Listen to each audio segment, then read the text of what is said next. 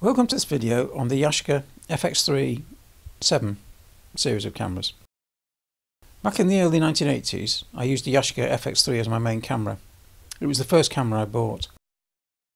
I had another retro 1980s day recently and took the Yashica FX7 which is a chrome finish FX3 out to shoot some film. I've included some of the pictures I took. The Yashica FX3 7 series of cameras were manual exposure cameras aimed at the amateur market. They are manual focus cameras that have centre weighted metering. They take lenses of the Contax Yashica line made by Carl Zeiss, Yashica and other manufacturers. Introduced in 1979, the camera has a manual film winder and a rewind crank for film rewind. The film speed range is 12 to 1600 ASA in one third of a stop increments. Metering is centre weighted metering only. The range of shutter speed is from 1 second to 1 1000th of a second. Flash sync shutter speed is 1 125th of a second. A mechanical cable release can be attached to the shutter release. The main controls on the Yashica FX7 are the film winder, the exposure counter, the shutter release with a thread for a cable release, the shutter speed dial, which incorporates the film speed setting, the hot shoe connector, the rewind crank.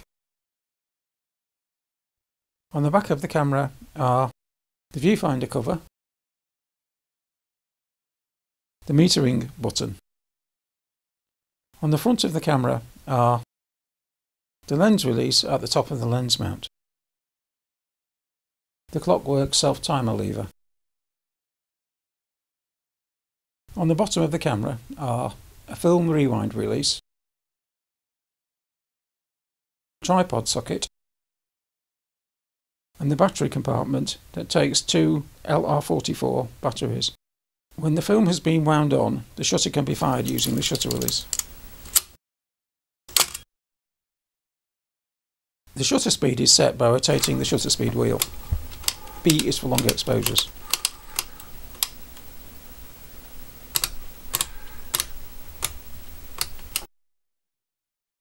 The film speed is set by lifting up the ring on the outer edge of the shutter speed dial and rotating the ring until the desired film speed is shown in the film speed window on top of the dial. Pressing the exposure check button causes the display in the viewfinder to light up.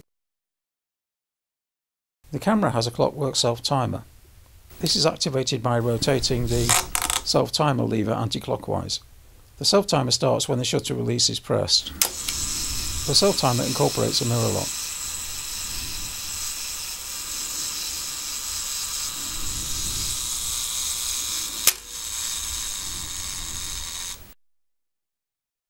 To rewind the film, press the rewind release on the bottom of the camera and then rotate the rewind crank until the film is back in the cartridge.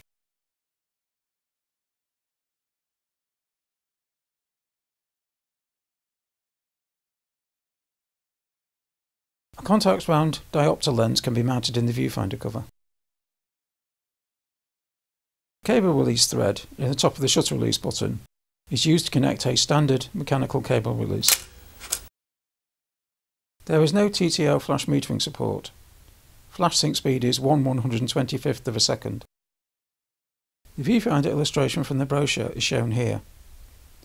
There is an overexposure indication, a red plus, an underexposure indication, a red minus, and correct exposure indication of a green circle. Yashica described the FX3 as the action machine in their brochure for quick response, simplified handling and compact lightweight design. They also refer to it as a perfect camera for a beginner, an assessment I would agree with. It is simple and easy to use but lacking the sophisticated features of the Contax cameras.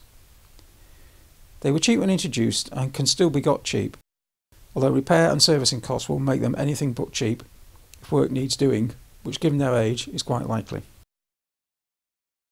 Later versions of the FX3 appeared, the FX3 Super and the FX3 Super 2000.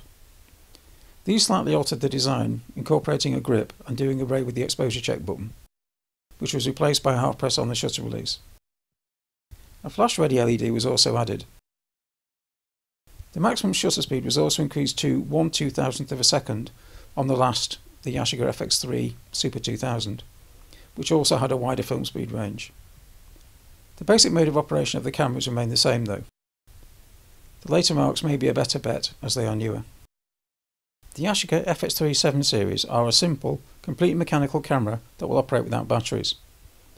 It has a very limited set of features, and some features such as being able to see what aperture and shutter speed are set without having to look away from the viewfinder I rather missed. Also an automatic mode to track lighting changes automatically would help in changeable lighting conditions. The mirror lock on the self timer is a nice feature on such a low spec camera. The leatherette on the Yashica FX37 series, like Contax of the same period, degrades badly and has been replaced on this camera. The Yashica FX37 series supports a magnifier or right angle finder being fitted on the viewfinder. They can also be used with the Auto Macro Bellows PC. I would be careful to find one in good condition if considering buying one, and it is likely that any would need servicing and recovering at least, given their age. The cost of any significant work on these cameras may make them less of a budget option than buying a Contax nowadays.